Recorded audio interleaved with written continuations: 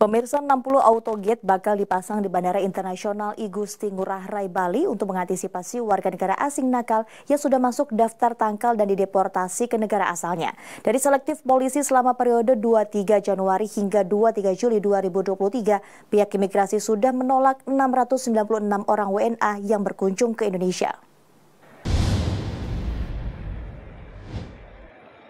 Autogate merupakan sarana pemeriksaan keimigrasian yang berada di bandara melalui pintu perlintasan otomatis bagi setiap warga negara Indonesia maupun warga negara asing yang akan masuk dan keluar wilayah Indonesia.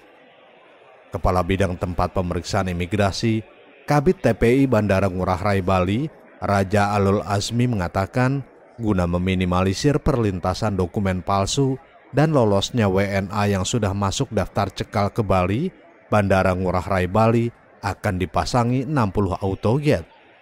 Autogate dapat digunakan bagi pemegang paspor elektronik melalui proses pemindaian paspor dan verifikasi biometrik. Kemudian dilakukan proses autentifikasi yang terdiri dari pemindaian sidik jari dan wajah.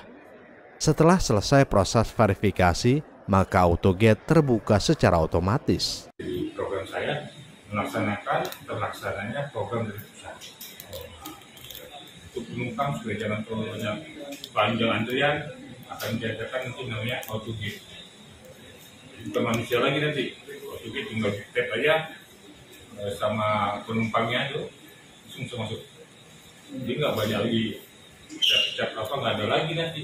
Nah, auto gate akan dipasang Ya kemarin informasinya itu 60 nah, itu kita lagi uh, genjot supaya terpasang dalam tahun ini.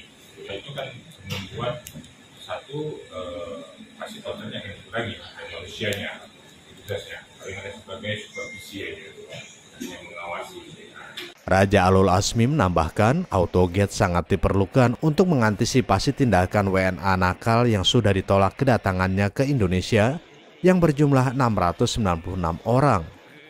Selain WNA, juga terdapat 539 orang WNI yang ditunda keberangkatan ke luar negeri karena diduga akan bekerja secara non-prosedural. Dari Kabupaten Badung, Bali, jurnalis Nusantara TV Putu Wiguna melaporkan.